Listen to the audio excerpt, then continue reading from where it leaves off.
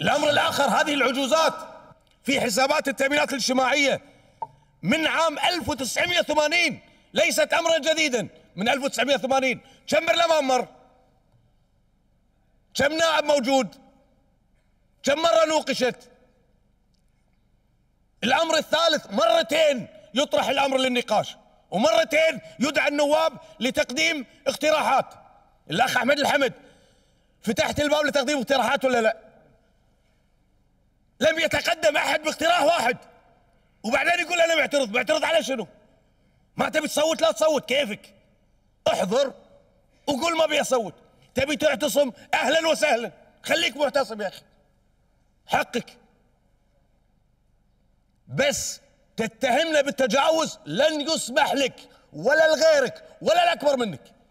الحكومة راضية مو راضية؟ هذا شأن الحكومة. إحنا نتكلم عن أنفسنا. وأنا عضو في هذه اللجنة.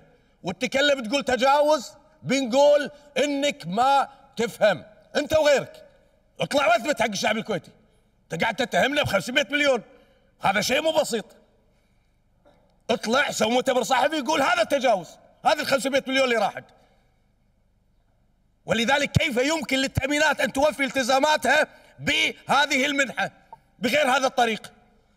قول لنا كيف؟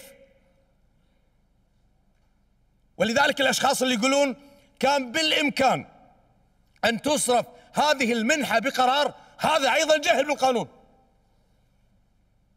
المادة 80 تقرر للحالات الفردية الفردية المعاشات والمكافآت لحالة محددة. للدكتور محمد الفارس لفلان لفلان. مو قاعدة تنظيمية عامة. تخلطون القانون بالسياسة بالجغرافيا. المسألة مو كذي. إذا أنت سياسي وتحترم نفسك تطلع للشعب الكويتي وتتكلم بشكل واضح. والمسألة تحتمل أمرين إما إحنا غلط أو أنتم غلط. ومن حقك أن تبني موقفك وفقا لقناعاتك. لكن لن يسمح لك ولا لغيرك ولا الأكبر منك أنك تطعن. وتلبيس الأمر وسرقة وتجاوز. لا يا أخوي لا هذه مو مسموحة لك بصرف النظر عن قبول الحكومة من عدمه. هذه المنحة ستمر لمستحقيها قبل من قبل ورفض من رفض والخيار في نهضة الأمة في هذه القاعة للتصويت. شكرا. وتحمل تبعاته ومسؤولياته أمام الرأي العام.